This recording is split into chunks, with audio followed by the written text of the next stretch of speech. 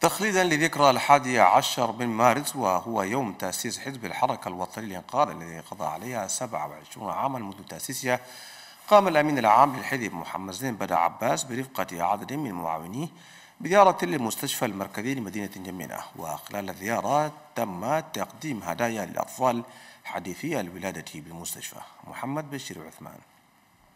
الحادي عشر من مارس 1990 الحادي عشر من مارس 2017 سبعة وعشرون عاما بالتمام من تأسيس حزب الحركة الوطنية للإنقاذ MPS ببامينا والذي يوافق سنويا الحادي عشر من مارس. وبذلك قام الأمين العام للحركة الوطنية للإنقاذ MPS محمد زين بدا وبرفقته أعضاء المكتب الوطني السياسي والمجلس الوطني السياسي وبعض من مناضلي ومناضلات الحزب ببادرة حسن نية بزيارة إلى مستشفى الأم والطفل بهدف توزيع هدايا للأطفال حديثي الولادة تزامنا مع هذه الذكرى الخاصة بالحركة الوطنية للإنقاذ. المكتب التنفيذي ال secrétariat général MPS قالت اليوم ده واجب ما نخلوه ساكت.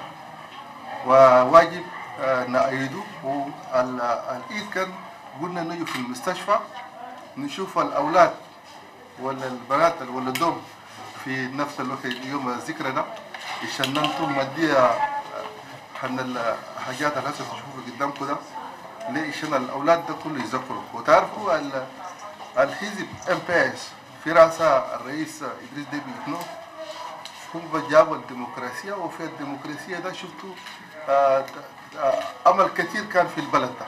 هذا وقام الأمين العام للحركة الوطنية للإنقاذ برفقة مساعديه وبعض من رفاق الدرب الطويل بتفقد بعض من هؤلاء الأطفال داخل الصلاة ووزعوا لهم هدايا رمزية تعبر عن مدى الأهمية الذي يليها الحزب للمواطنين في جميع مجالات الحياة من أجل تحسين أوضاعهم الاقتصادية والاجتماعية.